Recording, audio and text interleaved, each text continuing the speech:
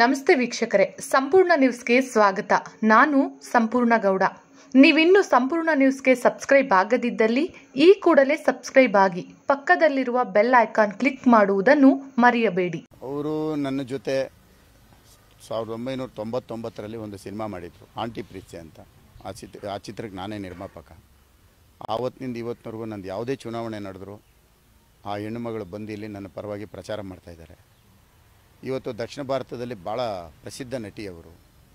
ಇವತ್ತು ನಮ್ಮ B J P ಪಕ್ಷಕ್ಕೆ ಸೇರ್ಪಡೆಯಾಗಿದ್ದಾರೆ. ಇವತ್ತು ಬಿ ಜೆ ಪಿ ಪಕ್ಷಕ್ಕೆ ಸೇರ್ಪಡೆಯಾಗಿ ದಕ್ಷಿಣ ಭಾರತದಲ್ಲಿ ಅವ್ರದ್ದೇ ಆದ ಒಂದು ಬಿ ಜೆ ಪಿ ಪಡೆನ ಕಟ್ಟೋದಕ್ಕೆ ಅವರು ಹೊರಟಿದ್ದಾರೆ. ಅದರಲ್ಲಿ ಇವತ್ತು ಬಿ ಜೆ ಪಿ ಪಕ್ಷಕ್ಕೆ ಸೇರ್ಪಡೆ ಆದಮೇಲೆ ಇದು ಮೊದಲನೇ ಬಾರಿ ನಮ್ಮ ರಾಜ್ಯಕ್ಕೆ ಬರ್ತಾ ಇರುತ್ತದ್ದು.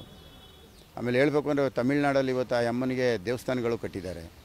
ಆಮೇಲೆ ನಮ್ಮ ವಿಷ್ಣುವರ್ಧನ್ ಜೊತೆ ಪಾತ್ರ ಮಾಡಿದ್ದಾರೆ, ರವಿಚಂದ್ರನ ಜೊತೆ ಮಾಡಿದ್ದಾರೆ, ಅಂಬರೀಷ್ ಅವ್ರ ಜೊತೆ ಪಾತ್ರ ಮಾಡಿದ್ದಾರೆ. ಒಂದು ದೊಡ್ಡ ನಟಿ ಇವತ್ತು ನಮ್ಮ ಬಿ ಜೆ ಪಿ ಪಕ್ಷ ಮತ್ತು ನನ್ನ ಪರವಾಗಿ ಮತ ಕೇಳೋದಕ್ಕೆ ಬರ್ತಾ ಇದೆ. ಒಂದು ಕಾಂಗ್ರೆಸ್ ಆರೋಪ ಮಾಡ್ತಿರುವಂಥದ್ದು ಮುನಿರತ್ನವರು ಕೋರ್ಟಿಗೆ ಸೇಲ್ ಆಗಿ ಹೊರಟೋಗಿದ್ದಾರೆ. ಅಲ್ಲೋಗಿ ಬೇರೆ ಪಕ್ಷದಲ್ಲಿ ನಿಂತ್ಕೊಂಡು ಈಗ ಹೆತ್ತ ತಾಯಿಗೆ ಮೋಸ ಮಾಡಿದ ರೀತಿಯಲ್ಲಿ ಪಕ್ಷಕ್ಕೆ ಮೋಸ ಮಾಡೋಗಿದ್ದಾರೆ.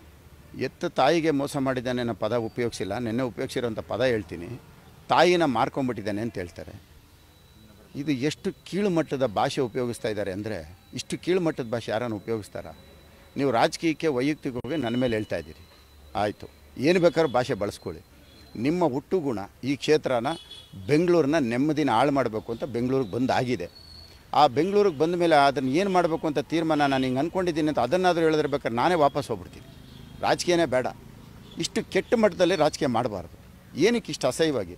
ದಿನ ಹೋಗೋದು, ಪ್ರಚೋದನೆ ಹೇಳಿಕೆ ಕೊಡೋದು, ಅದನ್ನು ತಡೆದ್ರೆ ನಮ್ಮ ಮೇಲೆ ಅಲ್ಲೇ ಮಾಡಿದ್ರು ಅಂತ ಹೇಳೋದು, ಅಲ್ಲೇ ಮಾಡಿದ್ರು ಅಂತ ಹೇಳ್ಬಿಟ್ಟು ಮತ್ತೆ ಒಂದು ಎಫ್ ಐ ಆರ್ ಹಾಕು ಅಂತ ಹೇಳೋದು. ಎಫ್ ಐ ಆರ್ ಹಾಕಿದ್ಮೇಲೆ ಬಂಧಿಸಿ ಜೈಲಿಗೆ ಕಳಿಸಿ ಅಂತ. ಅಂದರೆ ಇವ್ರ ಉದ್ದೇಶ ಏನು? ನನ್ನ ಪರವಾಗಿ ಯಾರನ್ನ ಕೆಲಸ ಮಾಡ್ತಾಯಿದ್ದಾರೆ ಅವ್ರ ಮೇಲೆ ಒಂದು ಎಫ್ ಐ ಆರ್ ಹಾಕಬೇಕು, ಅವ್ರನ್ನ ಜೈಲಿಗೆ ಕಳಿಸ್ಬೇಕು. ಇವ್ರಿಗೆ ಎಲೆಕ್ಷನ್ಗೆ ತೊಂದರೆ ಆಗಬಾರ್ದು. ಯಾರು ನನ್ನ ಪರವಾಗಿ ಮತ ಕೇಳೋದು.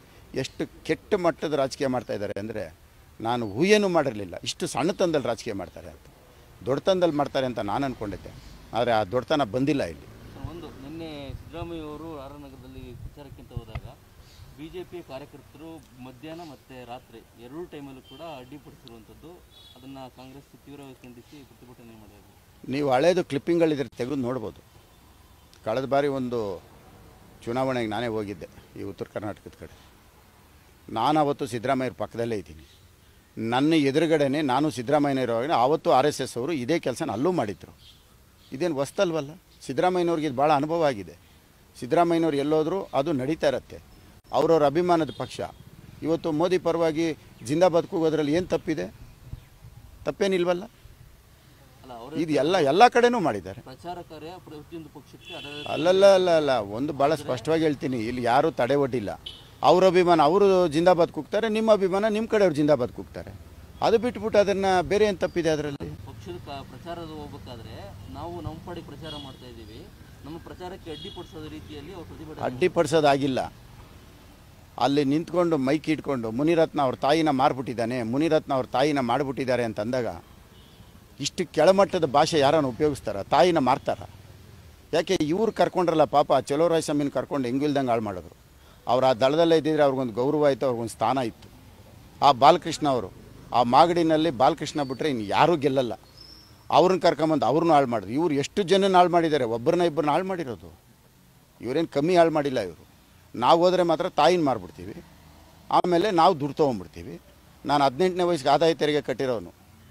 ಎಲ್ಲ ಮಧ್ಯದಲ್ಲಿ ಏನೇನೋ ಮಾಡಿ ನಾನು ಬದುಕಲಿಲ್ಲ.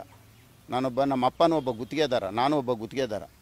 ಹಂಗಾಗಿ ನಾನು ಜೀವನ ಮಾಡ್ತಾ ಇದ್ದೀನಿ. ಅಡ್ದಾರಿನಲ್ಲಿ ಯಾವುದು ದುಡ್ದಿಲ್ಲ. ವೀಕ್ಷಕರೇ, ನೀವಿನ್ನು ಸಂಪೂರ್ಣ ನ್ಯೂಸ್ಗೆ ಸಬ್ಸ್ಕ್ರೈಬ್ ಆಗದಿದ್ದಲ್ಲಿ ಈ ಕೂಡಲೇ ಸಬ್ಸ್ಕ್ರೈಬ್ ಆಗಿ ಪಕ್ಕದಲ್ಲಿರುವ ಬೆಲ್ ಐಕಾನ್ ಕ್ಲಿಕ್ ಮಾಡುವುದನ್ನು ಮರೆಯಬೇಡಿ. ಧನ್ಯವಾದಗಳು.